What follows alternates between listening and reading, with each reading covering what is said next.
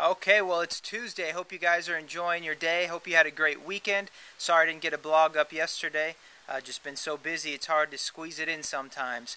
Uh, but today I'm just sitting out in the backyard working on a message. Uh, it's better sometimes, I think, to get outside the four walls of your office if possible and just uh, go spend some time with the Lord. So I'm sitting here enjoying the beautiful day that the Lord has made. Uh, it's getting a little bit warm now, but it is it's an awesome day here in Charlotte. And I've been pressing in, uh, just trying to find out the word that he wants me to share. So, uh, working on that. Uh, today, the word of the day, or the verse of the day, is Psalm 115 and 16. The heaven, even the heavens, are the Lord's, but the earth he's given to the children of men.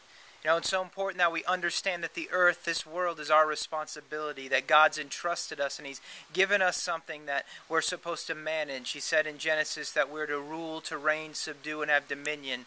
And it's so important to know that God's not going to do our job for us, but we've got to grab hold of the anointing of the Holy Spirit that He's got within each and every one of us as His children. And we've got to go and seize the day. We've got to find those who are bound and oppressed. We've got to set them free, pray for the sick, heal them, cast out devils.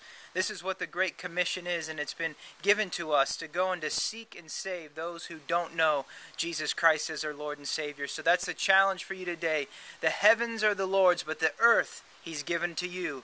So rule it, reign it, subdue it. Make His kingdom here on this earth just like it is in heaven. Bring His will down and execute His will on this earth like His will is executed in heaven. Hope that ministered to you today. I'll uh, see you tomorrow, Wednesday. Uh, have a good evening, and I'll talk to you tomorrow. Bye bye.